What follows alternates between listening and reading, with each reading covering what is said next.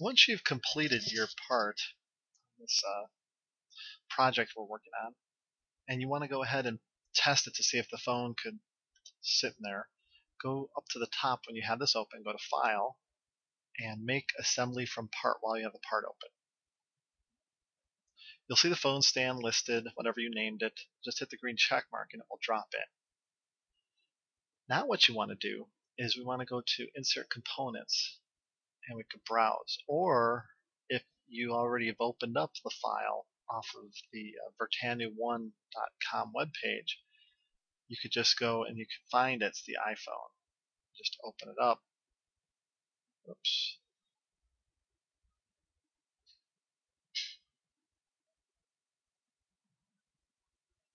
And I'm going to have to go ahead and find that part. So, if you excuse.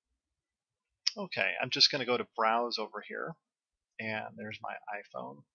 Open it up, so make sure you know where it's at. And then zoom out and just click to drop it floating out here somewhere. Now what I'm going to do is I want to go ahead and get that in position. And there's something called the mates that are used inside SOLIDWORKS. So click on this little paperclip icon up here. And what you could first do is you could select the bottom surface of the phone and then go ahead and select rotate around and I'm holding the middle mouse button down to rotate it or you could hit the arrow keys left right up or down until you can see this face right here where it needs to be aligned to. So select that and you'll see it will align itself partially. Hit the green check mark. Now select the back face of the cell phone and then select this front face of your bracket and hit the green check mark. And here you could go ahead and hit the green check mark again. Now what you do is just slide it in. Just by dragging it. You grab it with the left mouse button and you drag it and here you can see if it locks in. And sure enough it gets rotated around and we can see there's a little bit of clearance in there.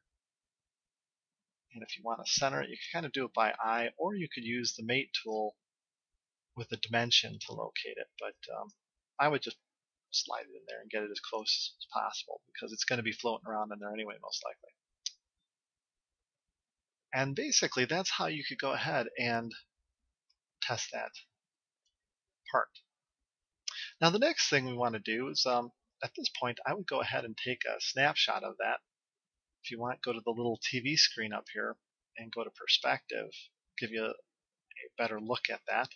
You can also photorealistically render it if you go to the Office Products tab up here.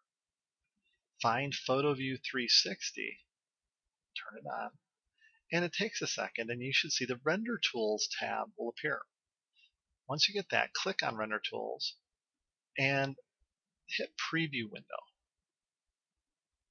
It should come up and it'll give you a preview of what it looks like photorealistically rendered.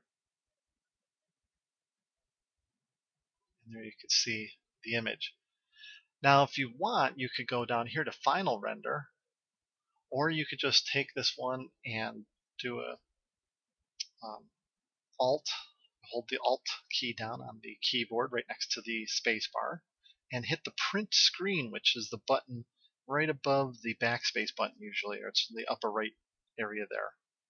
And you just click on it once, and now you can actually bring it into a Word document and paste it in there if you want. Another option is just go to Final Render, and then you can go ahead and let it render. It'll render in a different window. And then you can save the image and give it a name here. In this case, I'm going to go ahead and call it my phone stand 1 and hit save. It'll save as a JPEG most likely. Otherwise, you could select from a variety of different formats. And there we go. Okay, the next thing I want to do is I want to show you how to uh, actually the next uh, video will be how to actually take this and we're going to run a drop test analysis on it. This concludes this video.